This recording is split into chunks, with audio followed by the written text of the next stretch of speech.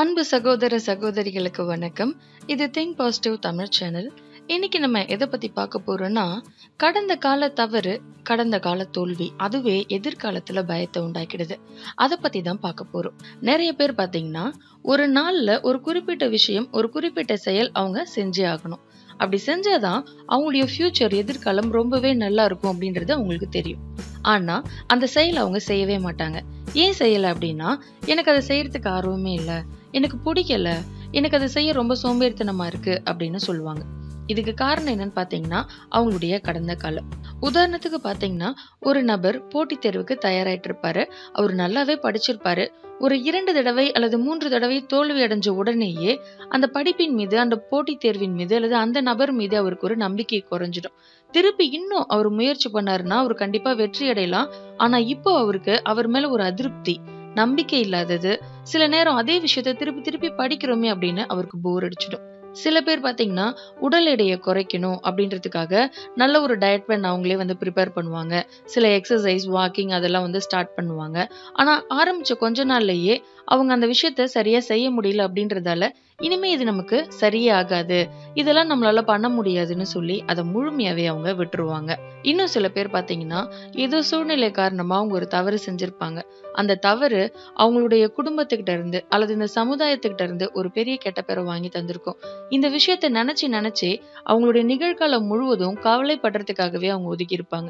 So ஒரு எந்த விஷயத்திலயும் அவங்க ஆர்வம் காட்ட மாட்டாங்க. இப்படி எல்லா நபருமே ஒரு விஷயத்த முதல்ல ஆரம்பிக்கும் போது ரொம்ப ஆர்வமா இருப்பாங்க. அது அவங்களுக்கு ரொம்பவே பிடிச்சிருக்கும். அந்த விஷயத்த செய்யும் போது அவங்களுக்கு சோம்பேறித்தனமே இருக்காது. சொல்லப்போனா நிறைய நேரம் அதுக்காக அவங்க ஸ்பெண்ட் பண்ணுவாங்க. அதுல ரொம்ப ஆர்வமா இருப்பாங்க. ஆனா அதுல வெற்றி கிடைக்கல. ஒரு தடவை அல்லது ஒரு இரண்டு மூன்று தடவை தோல்வி அடைஞ்சிட்டோம் அப்படின்றதுக்காகவே அவங்க அந்த விஷயத்த நிறுத்திடுவாங்க. திரும்ப அந்த விஷயத்த அவங்க செஞ்சுதான் ஆகணும். அதுதான் வாழ்க்கையினுடைய கட்டாயம். ஆனா அதே விஷயத்த திருப்பி செய்யும் போது அவங்களுக்கு ரொம்பவே போர் அடிக்க ஆரம்பிக்குது. அவங்களுக்கு அதை செய்ய பிடிக்கல.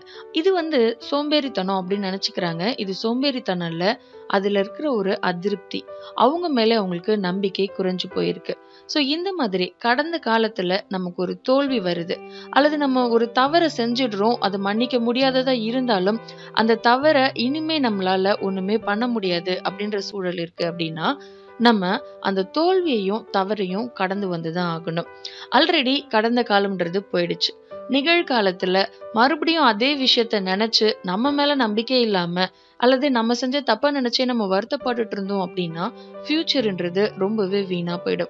அதனால இனிமே இந்த கடந்த காலத்துல நீங்க என்ன விஷயம் செஞ்சீங்களோ அதை மறந்துடுங்க உங்களை மன்னிச்சிடுங்க. இந்த நாள்ல உங்க வாழ்க்கையில உங்களுக்கு தேவையான விஷயம் என்ன? உங்க கோல் என்ன?